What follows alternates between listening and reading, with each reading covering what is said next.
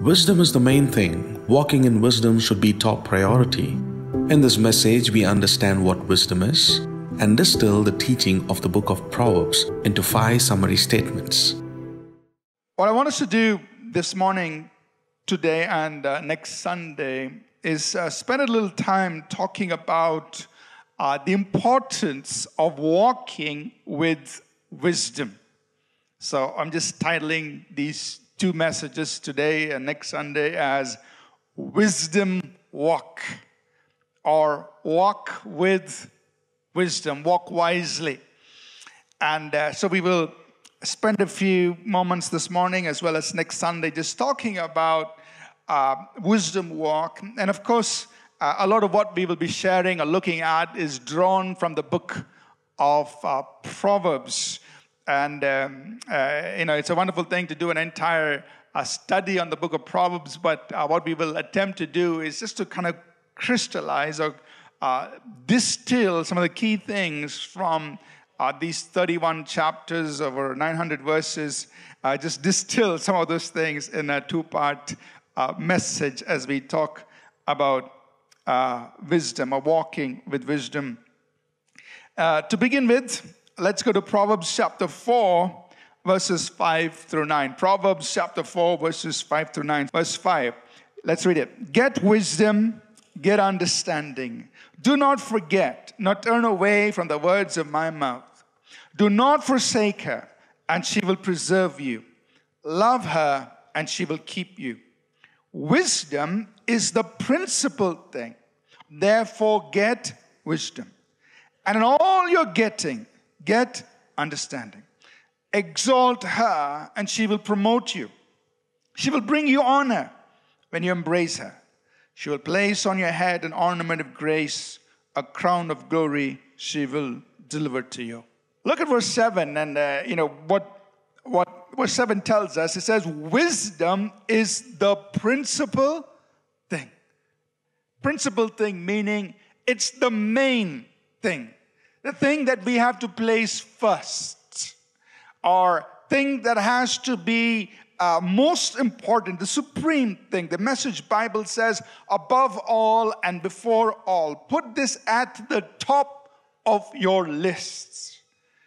So, you know, you and I, all of us are pursuing different things in life, pursuing our college degrees, our you know, careers, uh, success, or we're, you know, we have all these dreams and all of that is fine. But the Bible is saying wisdom is the main thing. You go after that. And look at some of the instructions in these verses. In verse, you know, verses um, five through nine, you look at those um, instructions. It says, "Get wisdom. Do not forsake her." That means don't give up on this uh, exalt wisdom, meaning give wisdom its in place of importance in your life. Uh, and he also says, embrace wisdom, meaning hold on passionately to wisdom. And he says, if you do these things, then here's the outcome wisdom will cause these things to happen to you. Verse 6 it'll preserve you, keep you. That means to protect you, guard you. Uh, verse 8, he says, wisdom will promote you, raise you up to a high place. Verse 8, he again says, It'll bring you honor, it'll exalt you, give you stature among people. You see, and many times we are pursuing these things. We want success, we want to be exalted, we want promotion. But he's saying, You get wisdom, and then these things will follow you in your life. So, wisdom is the main thing. It's the thing that you and I should be pursuing foremost, is what the Bible is telling us. It's the principal thing. Go after that, these other things will come on into your life. So, we're going to spend some time talking about wisdom today and uh, just uh, a little bit more next Sunday. But what is wisdom? And he said, Wisdom, what is it? If you want to put it very succinctly in a very simple statement, we could put it like this we could say, Wisdom is the ability to apply knowledge. So you go to school, they pump knowledge into you. grade 10, grade 12, take it in. Maybe a four year degree. Take it more, take more information and knowledge. I do your master's, and more and more information. So you're getting all this information, but when you step into your place of work, what is expected of you is, hey, can you apply all of that to do something good? It's not enough to know all this stuff, but can you translate that into something useful to solve problems and so on? So, wisdom gives us the capacity, it's the ability to apply knowledge for what? You know, you can mention some things, it's to solve problems. And you get paid to solve problems. You use, you're able to apply knowledge to determine the right course of action in a situation. So you can listen, these are all the different things that are happening. But then, what is the right thing to do in this situation? Requires wisdom or even to foresee the outcome of situations. You say, Well, I know it's going to turn out like this, therefore we must be preemptive. You take this action right now because I'm able to foresee, I'm able to foretell or forecast uh, what is going to happen. So, wisdom is the ability to use knowledge, apply it uh, into various situations of life. And, you know, having knowledge, gathering information, it is important. But these days we have an overload of that. Every click you make, information is being collected. Several different people are tracking us. A lot of data is being gathered. But then that data by itself needs to be interpreted, needs to be understood, and then it needs to be translated into things that can help do things, solve problems or whatever. And that's what you and I, or people generally, that's what we get paid for. Not just reporting on information, but what our employer is looking for. They, they're saying, based on all that information, can you tell me what I need to do? What should I do? And that's what you get paid for. Now, that requires wisdom, it, it requires the ability to interpret and then determine what is the right course of action. What should we be doing? What is the meaning of all of this? We can also state in wisdom like this wisdom is the combination of insight, understanding, and prudence. Are you all with me so far? So, insight means you are able to go past the surface and look at what's happening underneath things. You're able to see the hidden meaning, the root cause you're going beyond the surface. For example, if you just tell your manager, well, we had a campaign, and you know, I'm just using small numbers just for our, ability to grasp. Uh, you say, well, well, we had 100 responses. Well, that's okay, 100 responses. But what your manager wants to know is, what is the breakup? What, what is the meaning of that hundreds? Out of the 100, you say, well, we had a peak there and then in the demographics, we had between 20 to 30, that age group, we had 30, uh, 60 people respond. Okay, that's useful. But go further. Why did those 60 people respond? Were they male or female? Uh, oh, any more information we know about them? What pulled them in? And then more meaning. You know, uh, what else do we need to do? Do we need to focus more efforts on another age group, etc., etc.? The, the man, your manager doesn't just want, I oh, 100 people responded to this campaign. He wants more meaning. He wants insight. Are you with me? And that's what wisdom gives us the ability to do. So, wisdom is a combination of insight and understanding, your ability to comprehend the situation. So, there are the ABCs, which are the basics, and there are also the XYZs, the more complex thing. Now, when you understand something, you have the ability to make the XYZ sound like the ABC. Sometimes, when we don't understand something and we talk about it, the ABCs itself sounds like the XYZ. it's like, man, this, I don't understand. But somebody who really understands something, they can take the XYZ and make it look like the ABC. Because that person really understands what he's talking about. That's understanding. You're able to comprehend the situation or the matter uh, uh, uh at hand. So, wisdom in- involves insight, understanding, and then prudence. Prudence is skill, intelligence, uh, the ability to determine what is the right thing to do. Uh, sometimes we use terms like common sense or being street smart. I mean, uh, uh, they know what's the right thing to do. Prudence, being prudent. And so wisdom gives us insight, understanding, and prudence. So the combination of these is what wisdom is. Y'all with me so far? So, where does wisdom come from? Proverbs tells us very clearly, first of all, you know, God is the source of wisdom. Proverbs 2, verse 6. Let's read it together. The Lord gives wisdom. Let me hear you kind of just speak up a little louder. For the Lord gives wisdom. From his mouth comes knowledge and understanding. So God is the source of it. So God's the source. That's why in the Bible tells us, if, you, if any of you lack wisdom, let him ask God. Because he gives. So whatever situation you and I are have to handle, you know, whether it's you're a homemaker and you've got a situation at home, or you've got to deal with things uh, with children or finances or your workplace, your profession, your career, or, or you're running your own business, whatever, God gives wisdom. He's a source. I mean, he looked to him, said, God, I need wisdom. You said wisdom is the main thing. Get it. So, God, I'm coming to you. Give me wisdom how to handle a situation, how to solve, what is the right thing to do, God? Uh, open my eyes that I can go beyond what's on the surface to see what's underneath. God, open my eyes. I want insight into this situation. I want an understanding of what's happening. God, give me prudence. I want to know what's the right thing to do. I want to know what course of action I should take. God is the source. Secondly, the Proverbs also teaches us here that we, we receive wisdom from one another.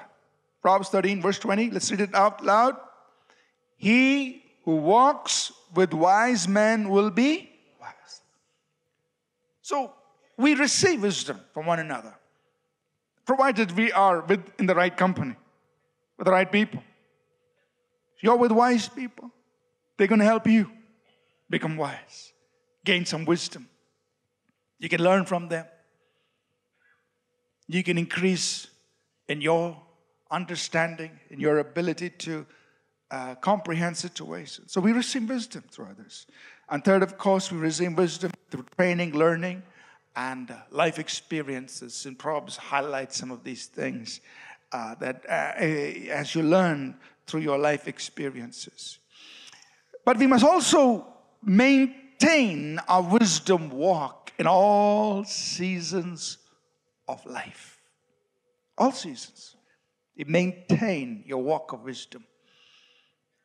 Whether we are in times of great success or whether we go through times of great distress, we must learn to maintain our wisdom walk.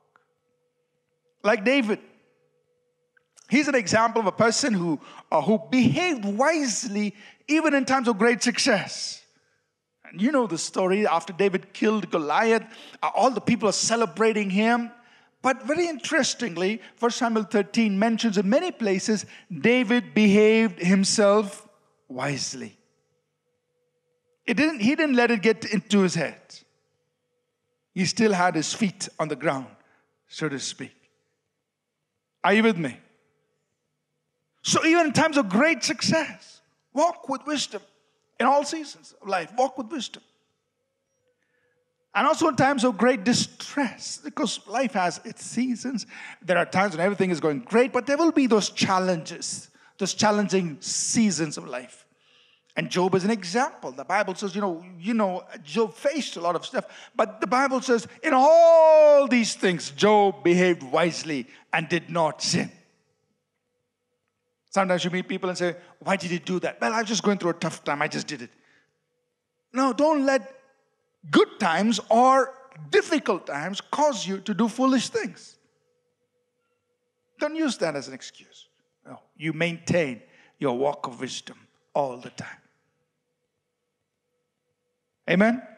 That's a good place to say amen. All right.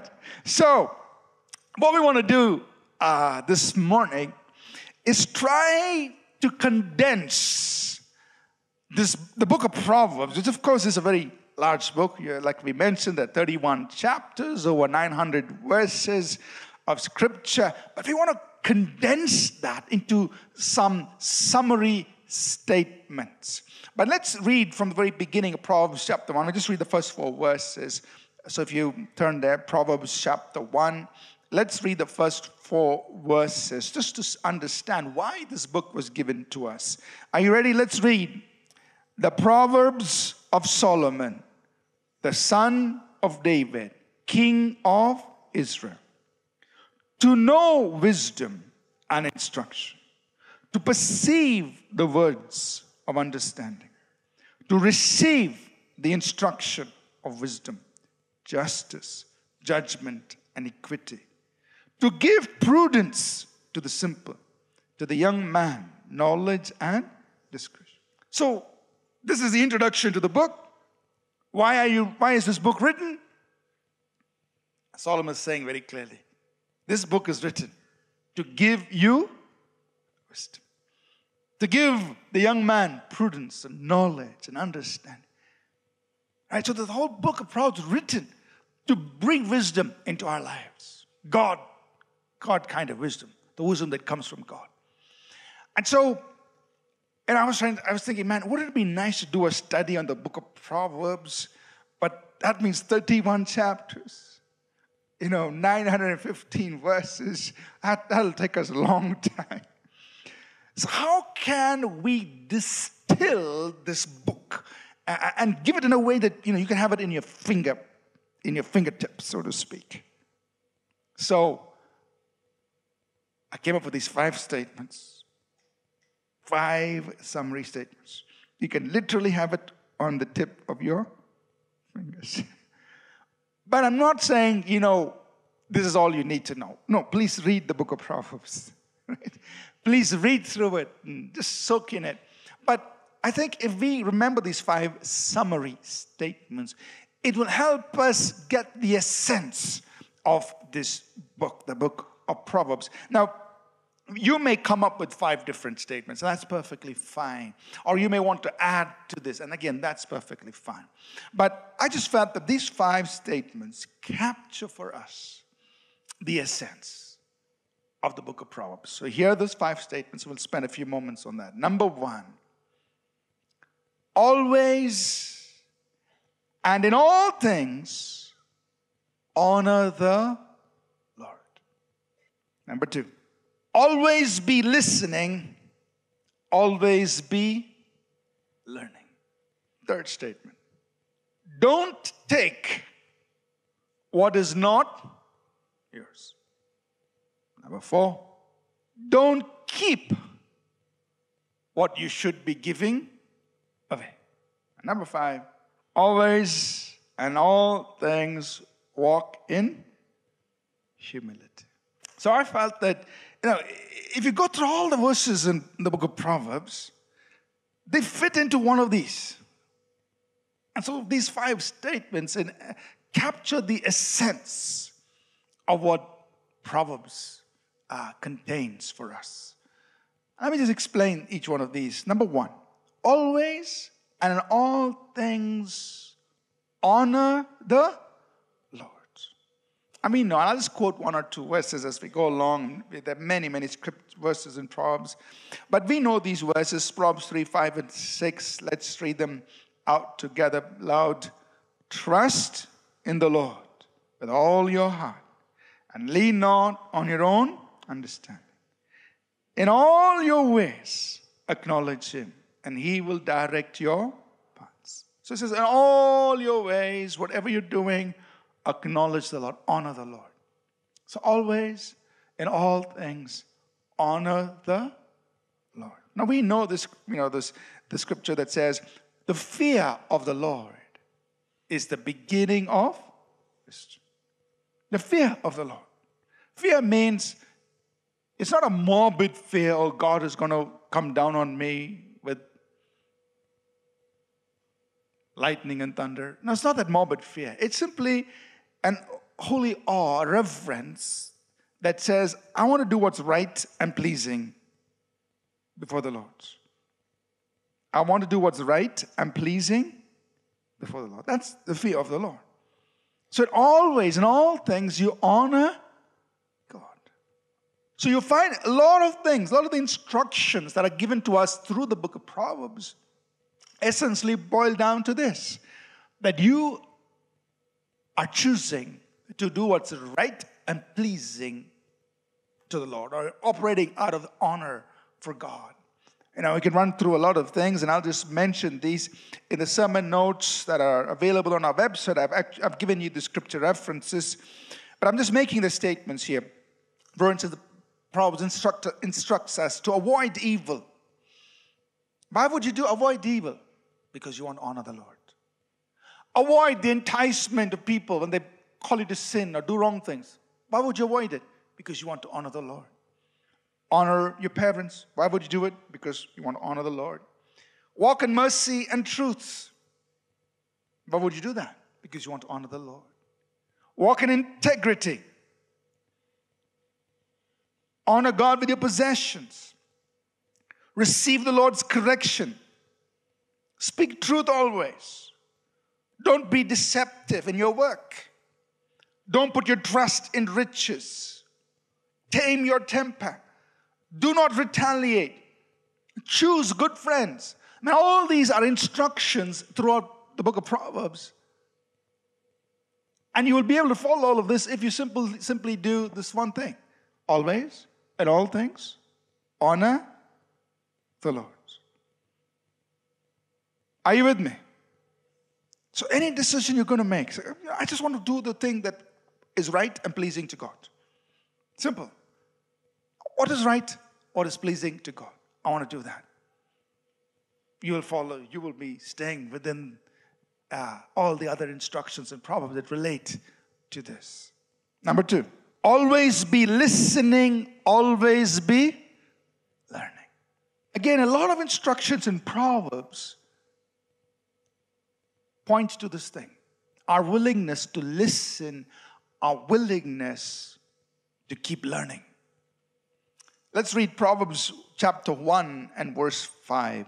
A wise man will hear and increase learning, and a man of understanding will attain wise counsel. What will a wise man do? Keep on talking. Now, a wise man will listen and increase learning. So always be listening, always be learning.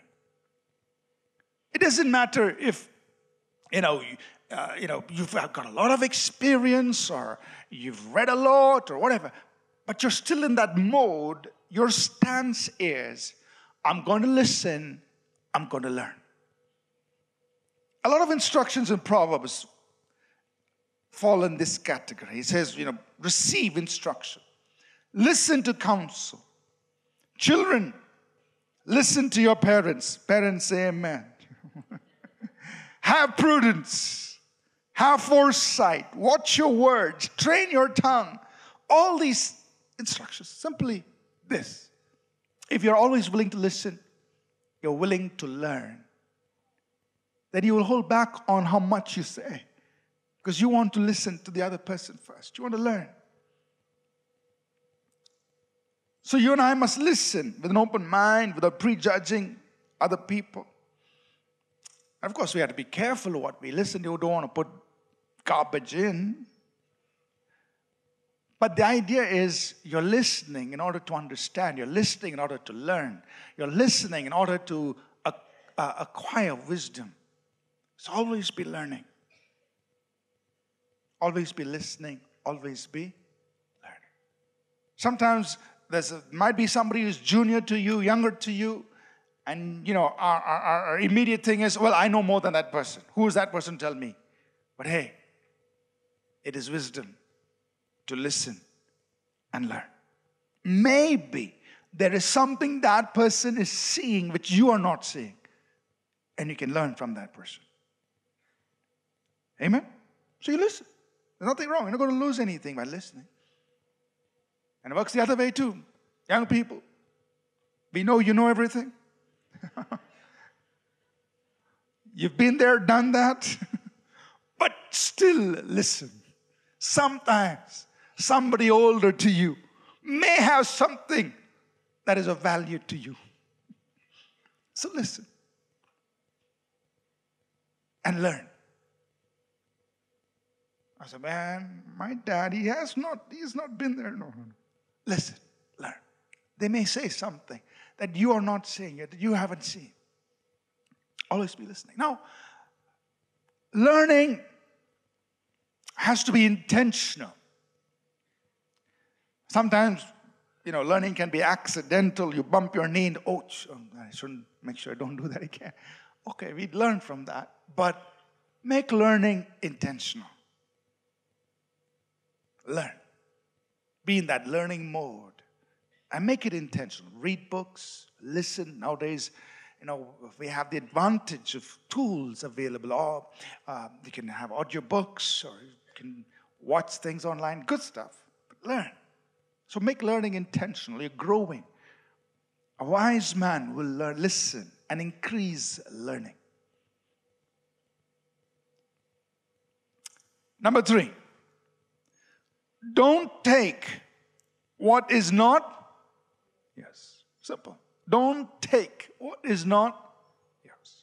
So, again, a lot of instructions in the book of Proverbs simply point to this one thing don't take what's not yours. If it's not yours, leave it alone.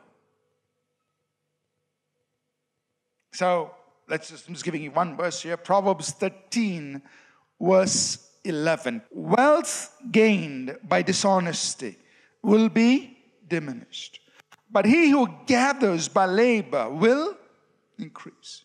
In other words, if you are taking something through crooked means, you're actually taking what is not yours. So don't take what is not yours. A lot of other things that you see in Proverbs. I'll just mention these. The scriptures are there in the sermon notes.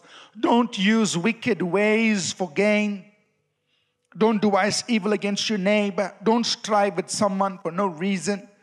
Don't commit adultery. So, in, in adultery, what you're doing, you're, you're taking what's not yours. Basically, that's it. So, don't take what's not yours. Don't be lazy.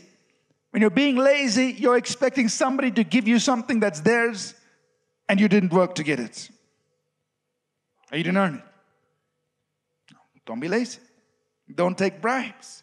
Don't use false weights and measures. Don't encroach on another's property. All of these instructions are simply this don't take what is not yours. So, when you're making a decision, you know, working with people, you're making choices. If it's not yours, don't take it. Amen? Number four, don't keep what you should be giving away. Many times God puts into your hands in order so that it can be released through you, so that somebody else can be blessed and the blessing can be multiplied back to you.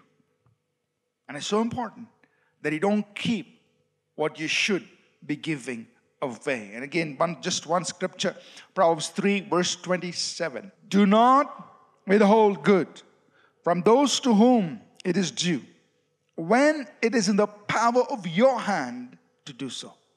It's, it's there in your hand, and God has assigned you to bless that person. Don't hold it back. Because that person may lose out because God has assigned you to bless it. He's put it in your hands to bless that person. Now, you and I are not God. We are not here to supply for everybody's needs. That only God does. But there may be some people that God has placed that God wants you to release.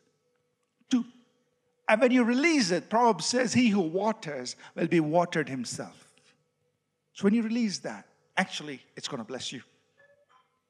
So don't hold back on what you should be giving away. A lot of instructions in Proverbs give to those who need, if you have the means to help them, show mercy, give generously, Speak good, kind, wholesome words. So, words can be something you give away because words can heal, words can bless, words can encourage. Don't hold those words back when you can actually release it and bless somebody. Bring correction and discipline. You're doing somebody good when you're bringing correction, you're bringing discipline. Don't hold it back. Share knowledge. Speak up for the speechless and powerless. All these things are instructions, proverbs. And they point to this one thing don't keep what you should be giving away. Amen? You may need to give away a nudge to your neighbor. to give it away. Wake him up. Don't keep what you should be giving. The last one. Always and in all things walk in humility. Always. And all things walk humbly before God. Humility is simply you and me saying, you know, I am dependent. I am dependent on God. I am dependent on others. And because of that, I'm willing to let the other person go first. That's humility. I recognize I'm dependent on God. I recognize I'm, i need other people. I, I'm dependent on people. And therefore, I'm willing to let the other person go first. Humility. And humility is key. Let's look at Proverbs 11, verse 2. When pride comes, then comes shame. But with the humble is wisdom. So when you're walking with humility, wisdom becomes your friend. And you're walking humbly before God and before people, wisdom can grace your life. But when we walk with pride, wisdom distances itself because God distances himself from us. So when you walk with humility, then wisdom will grace your life. And so, several instructions in the book of Proverbs, several, several times through the book, he, Proverbs tells us to reject pride, to choose humility, to receive correction, accept rebuke, to seek and receive godly counsel. All this requires humility. To accept correction requires humility. To seek for counsel requires humility. But then that's when wisdom graces our life, when we walk in humility. So let's recap our five summary statements. Let's read it, let's say it together. Number one, always and all things honor the Lord. Number two, always be listening, always be learning. Number three, don't take what's not yours. Number four, don't keep what you should be giving away. Number five, always and all things walk in humility. Ah, you've got the book of Proverbs on your fingertips. This is it. If you and I can just remember these simple things, you know, we can walk with wisdom, have a wisdom walk. Next Sunday, we're going to spend some time just looking at the rewards of wisdom walking. That will motivate us to seek God for wisdom first. And all the decisions we make, the choices we make, we say, God, you told us wisdom is the principal thing. You know, we all know about King Solomon. And it was David, his father, who taught Solomon. These words that we just read from Proverbs 4, Solomon says, My father told me, son, wisdom is the principal thing. Therefore, with all you're getting, get wisdom. So my father taught me. So you know the story later on when Solomon became king. The Lord appeared to him in a dream and said, Solomon, what do you want? You want a big kingdom? You want to win wars? What do you want? And Solomon said, Lord, give me. How, did Solomon know he had to ask for wisdom? Because his father told him. Son, wisdom is the principal thing. But all you're getting, get wisdom. So he said, Lord, give me wisdom. And God was so thrilled about it. He said, Solomon, I'll give you wisdom. I'll give you everything else. He had a glorious reign. And so you and I, in our life situations, we, we go through different things in life. People are seated here this morning. Uh, you may be in college, maybe wondering what to do next once you graduate. You may be in your early stage in your career. You may, whatever. You're all in different stages of life and having to deal with all kinds of situations in life. First thing, God, give me wisdom. Because you said wisdom is the number one thing, it's the most important thing. God, give me wisdom. God, show me. Give me insight. Give me understanding. Give me prudence, Lord. And when you and I walk with wisdom, when we maintain our wisdom walk, God said, wisdom will promote you, it'll exalt you, it'll give you glory, honor, all this that you want. It'll come you maintain your wisdom walk. It'll come. Amen. So we're going to take a few moments just to uh, pray. I want to encourage you to pray for wisdom. Whatever situation you're going through, pray. God, I want wisdom in my life for this.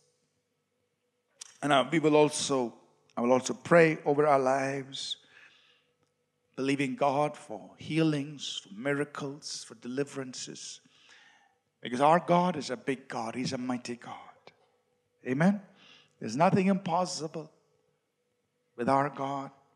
There could be situations that you're going through where you say, God, I need you to intervene. I need you to turn around situations uh, there could be things you're facing, you're battling, and you say, I need my God to come through for me. And so as I pray, I want you to believe God for healing, for deliverance, for intervention, for a miracle in your life. If Jesus was here, he would do it for you. He would do miracles for you. He would heal, he would deliver. And he is here in his church, among his people, and he will meet your needs. So call our worship team up, please. And, we're going to uh, just worship God for a few moments, and then we are going to pray. As you're praying, I want to encourage you to, first of all, pray for wisdom in your own life. Uh, whatever situation you're facing, you pray for wisdom. Say, God, give me wisdom, understanding. And then I'm just going to transition into a time just to pray for healings, for miracles, for deliverances, that God can meet the needs of people who are here. Uh, and I want you to just expect God to do that. Look to Jesus. Like the Bible says, He's the same yesterday, today, and forever. He hasn't changed. He's still the miracle worker. He's still our deliverer. He's still our healer. And He will do it for you and me this morning. So,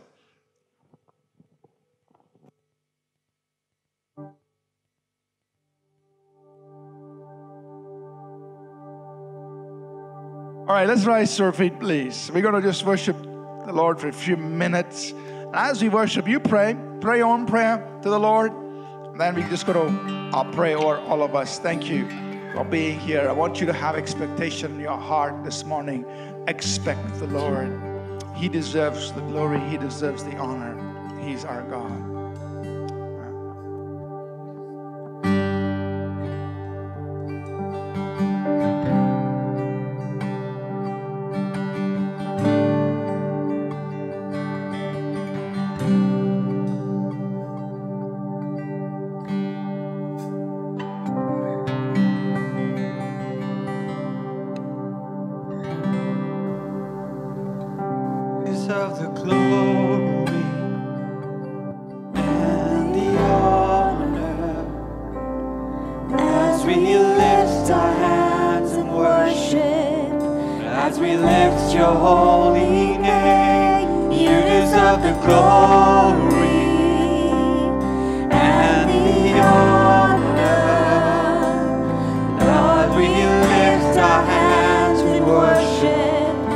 As. You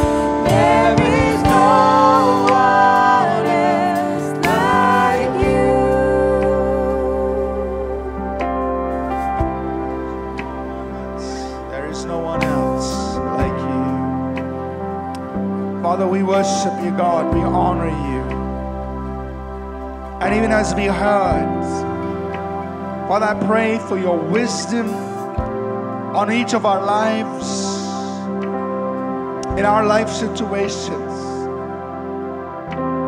By your word, by your Holy Spirit, impart wisdom, God, for each one of us. Impart wisdom that we may know what to do, that we may be able to make the right choices that honor you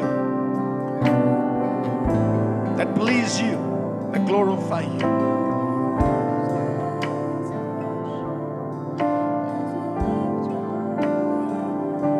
Father, for the business people here, grace their lives with your wisdom. For the professionals here, grace their lives with wisdom.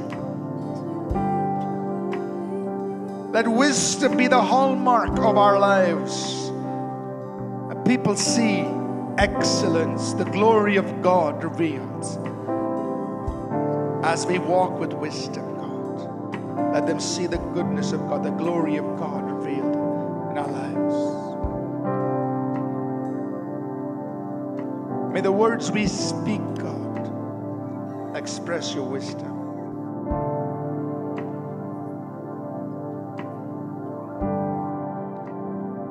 Thank you, Father. And Father, we just now pray for those who come here with various needs in their lives. Those who need healing in their bodies. Those who need deliverance from situations and circumstances. Or from oppressions over their mind or their body.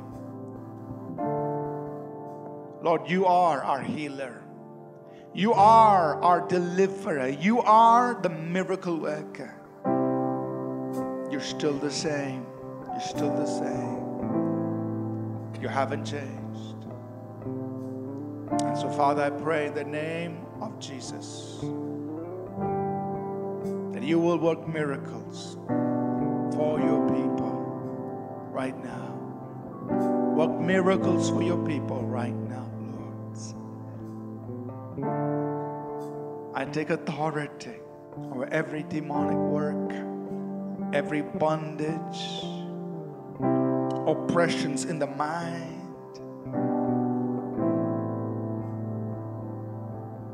The voices that tell you you will not succeed, the voices that tell you you will never make it.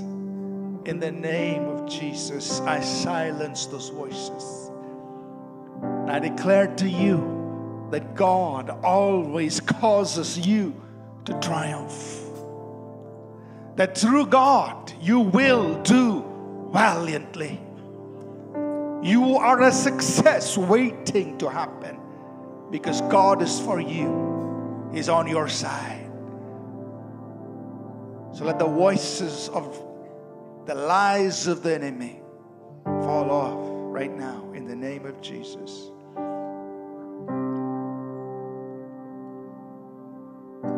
Father, we pray We release promotion, God. Exaltation, the lifting up that comes from God. Let that be released for your people. Promotion, exaltation. That the mighty hand of God lifts you up. Release that for your people in this place.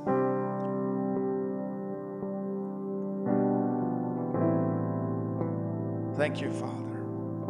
I just want to pray for very quickly for those who need healing. Just lay your hand on that part of your body if you can. Just generally, just lay it anywhere on your body as a sign that you're saying, God, I want you to touch me right now. As prayer is being made, I want you to touch me, touch my body. Just an act of your faith. Father, I pray for every person here who needs healing. In the name of Jesus, I command every infirmity, sickness, and disease to leave your body. command chronic ailments to leave, arthritis, I command it to leave. Diabetes, I command it to leave, and let there be wholeness and healing coming in. Let these things be a thing of the past in your life. In the name of Jesus. Let those constant pain in the joints leave now in the name of Jesus.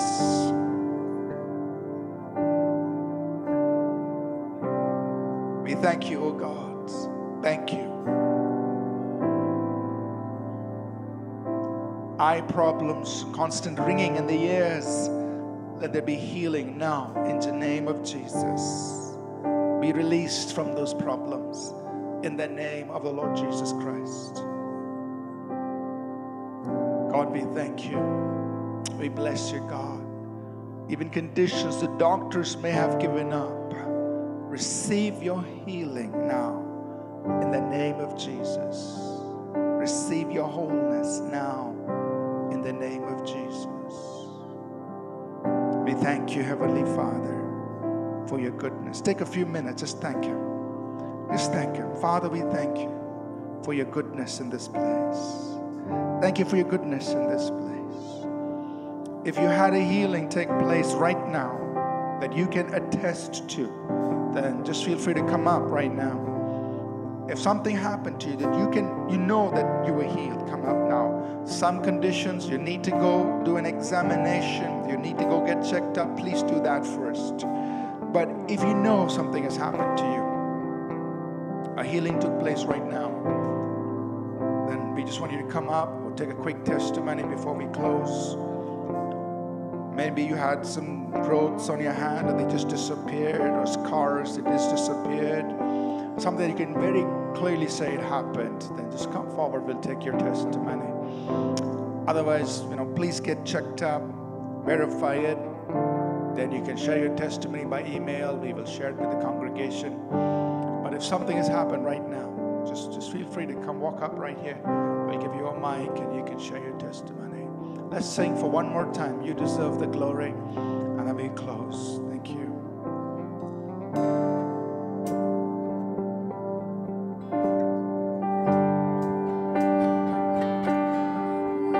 Of the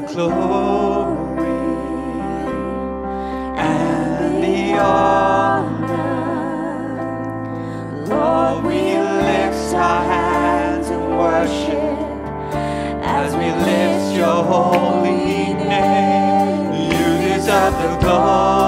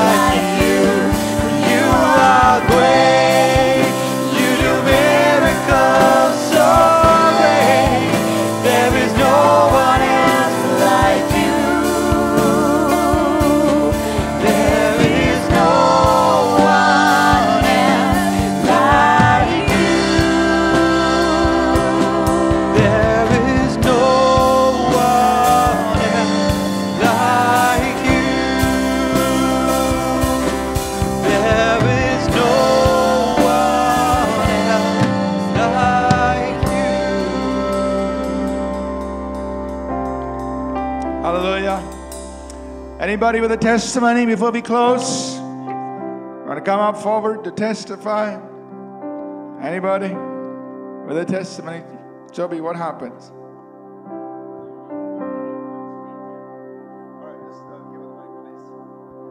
My eyesight became much better. I couldn't see the people on the stage before, the face was not clear. Oh, And I could see the worship team very clearly now. wow.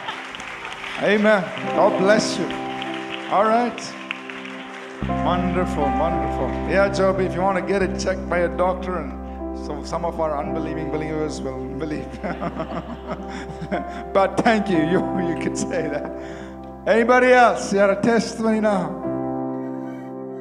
God bless you. God bless you. Thank you. Okay, okay. We're gonna get okay close.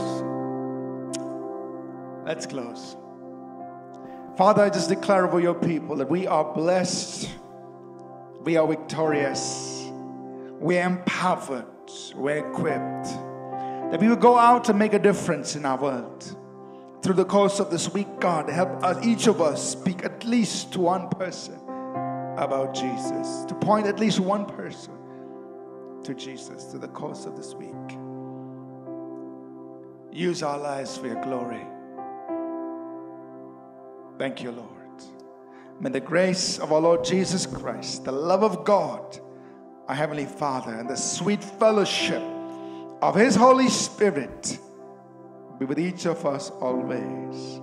In Jesus' name. Amen.